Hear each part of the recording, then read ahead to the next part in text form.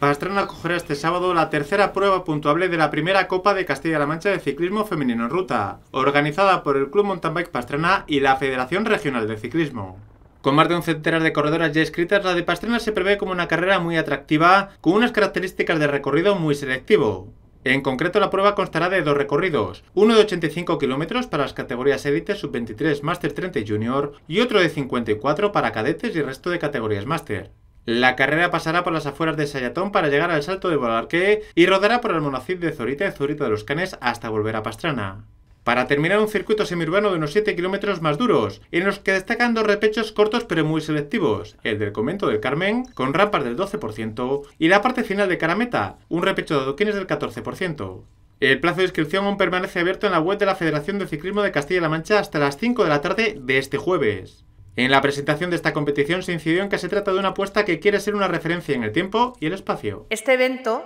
es único a nivel regional y aspira a convertirse en referente en la zona centro de España, desarrollando y consolidando un calendario que sea atractivo y se consolide en el tiempo.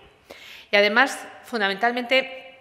persigue o tiene como objetivo el favorecer las competiciones de ciclismo para mujeres y servir como punta de lanza a la hora de promover el número de pruebas, el número de corredoras y también el número de equipos regionales.